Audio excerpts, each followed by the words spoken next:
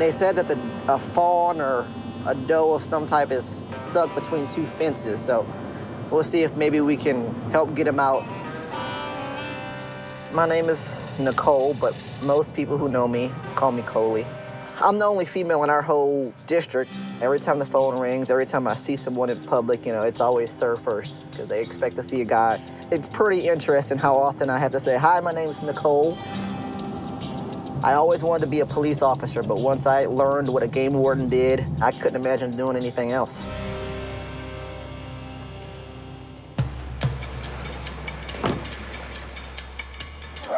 How you doing, ma'am? Nicole. I'm good. Hi, Nice to meet you. Let's go in this. Okay, day. awesome. She's between those two fences. way Oh, yeah, back she's there. right there. Okay. Has she let you walk pretty close up to her? Okay. It's all right. I just wanted to see how nervous it was.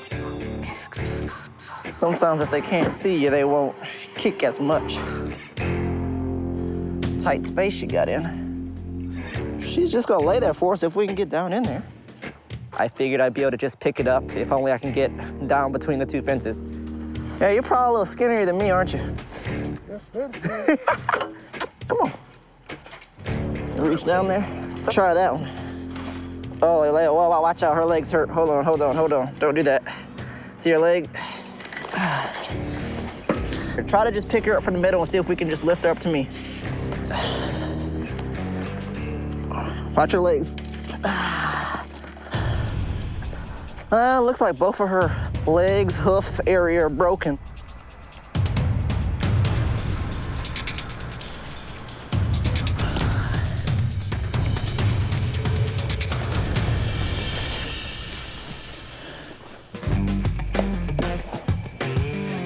You're not gonna try to jump out of there, are you?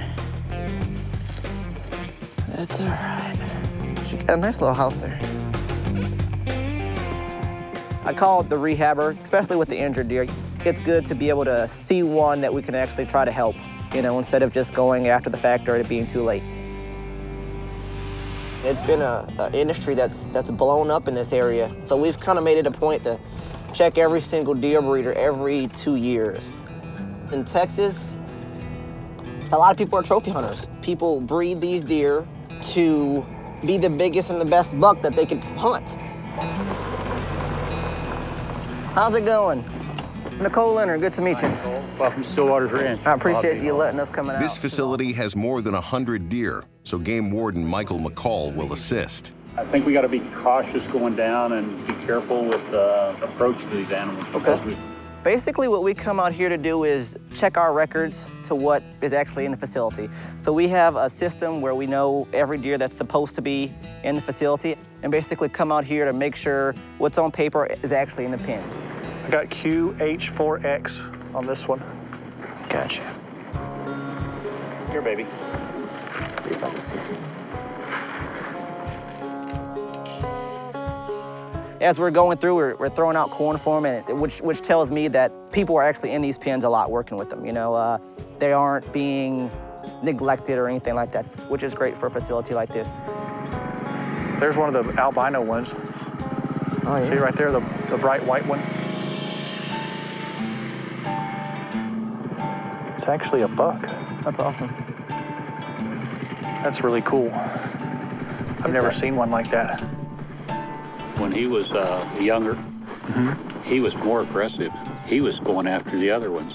And you would think that they would kind of sort of Gang up on him. pick on him, but he was he was going after the others. But now he's learned to Play settle along. down and not be so aggressive. He's just one of the he's- one of the herd. Yeah. Oh, he's But, neat uh. I don't think they can see as well. I think yeah. that he has trouble seeing. He gets spooked a little bit more easily than the others. Everything looks good to me. I don't Yes. even. That's good. Everything's in order. You know, doctors are coming out, veterinarians, everything's being recorded. He's got all of his fawns and his does together.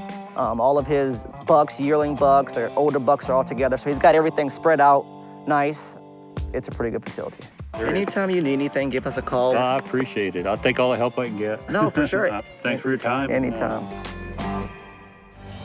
Back in Comal County, Game Warden Leonard responds to another deer call. This time, it's a potential poaching. That would be perfect. So I got a call from some Union Pacific guys about the deer dumped right behind one of their railroad properties. He realized it because there's a bunch of vultures hanging out, you know, and he said it was bothering him. He wanted to, you know, let us know that someone's hunting back there and leaving the meat. Poaching is absolutely a huge issue all around Comal County. Most of the time we don't get much information because people are waking up in the morning and finding the deer. Our job as conservation law enforcement is to protect the animals, make sure that people aren't thinking that they can just break the law. You know, I mean, there's fines involved, there's jail time involved, so it it, it absolutely is breaking the law, and we want to, you know, we want to try to catch these guys. I don't know how much is left of him. Yeah, no, I understand. It had to be from this weekend. Shot or I didn't see any exit wound. Like maybe somebody took it with a boat. they cut off the the antlers, and that you could see a cut along the back where they cut out the back strap. So um, it's obviously been poached. Someone tracked it just to get the, the antlers and back strap and left the rest of the meat. I'm gonna see where these guys could be coming in from. There might be some footprints, you know, where there might be a blood trail. And you can see where they've been doing some feeding. Huh. Yeah, in that mud pile. I mean, hell, this is probably their seat right here. Yeah. We at least know, hey, it's happening in this area. We need to patrol this area. Maybe we just sit out here at night and see if something happens, see if there's any suspicious trucks in the area. Thanks, guys. Tonight we're gonna stake out the area for a few hours, see if anybody comes along, get any visitors. I'm pulling into the area right now. Just gonna black out.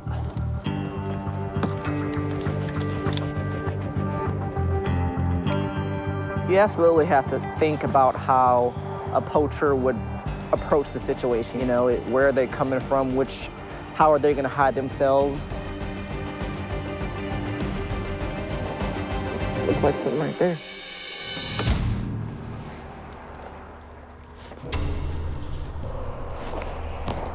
Just trying to figure out what that is between these trees over here.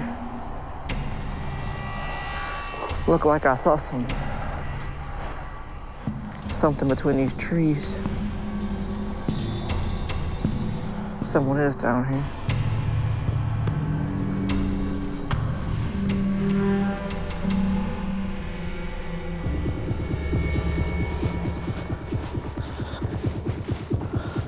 I'm just coming up here to make sure. I'll see if they were supposed to be up in here. Hey, how's it going? Yeah, you were just, hey, man. It's the property owner.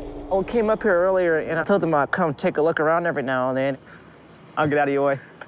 Good to see you, man. You too. After making a loop of the property, Game Warden Leonard doesn't see any suspicious activity.